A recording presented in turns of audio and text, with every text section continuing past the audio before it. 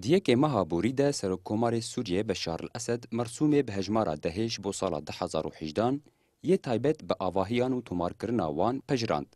Di riya bicîkirina deverên rêxistinkirî de, li gorî naveroka vî mersûmî pêwîst e her welatiyek belgeyên tomarkirina avahiyên xwe ji dadgehê re destnîşan bike û eger di heyama mehekê de ev yek neyê kirin, ji mafê dewletê ye dest deyne ser avahiyê.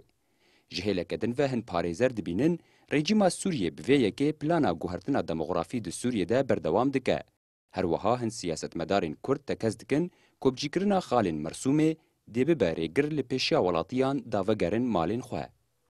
Ev metirsî gelkî mezin e ku piştî ev qade vervala kirine û xelk nekarin vegerin jî ji ber metirsiya wê bikarin guhertinek demografî çêbikin. Ev guhertina demografî Ti tiyarî nayê qebûlkirin û em bêjin civaka de navdewletî gunehkar kî mezin e wextê ku vî tiştî qebûl bikê.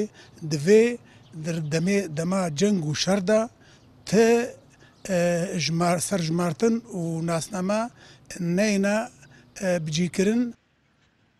Ji aliyekî din ve hin siyasetmedarên Kurd dibînin ku armancên rejîma Sûriyê ji mersûma dehêre armancên siyasî ne û fişareke nû ye li ser çiyekê dijberî rejîmê helwestên xwe dide.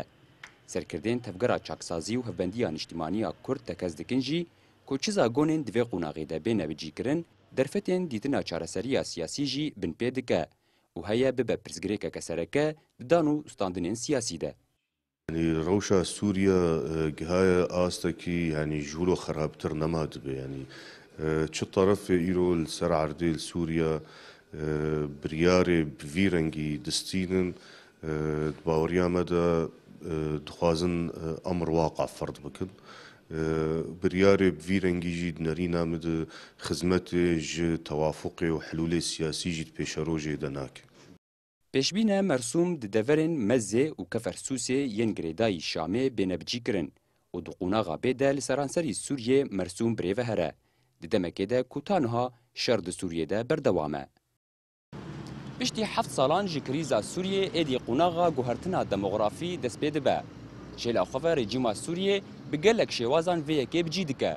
çi di riya zagona nasnameyan de be yan jî di riya zagona taybet bi avahiyan be. Ji aliyekî din ve hin mafnas û hin şopîner dibînin komîna van zagonan dê bibe sedema ku bi hezarê welatiyên Sûriyê dê nema karibin vegerin li ser mal û milkên xwe. Feradehmê Kurdistan bîst û çar. Qamişlo.